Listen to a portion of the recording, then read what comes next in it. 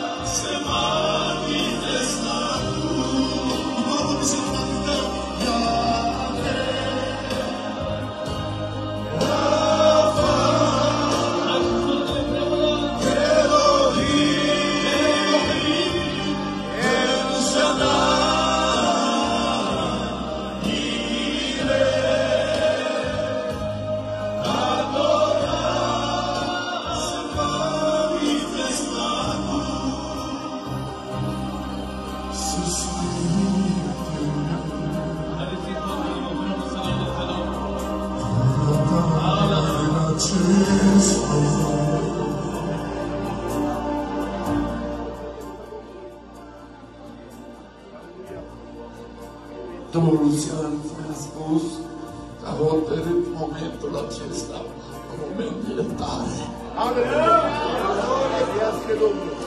S-a spart tavanul și a început să furcă strung. Merge tot pe genunchi.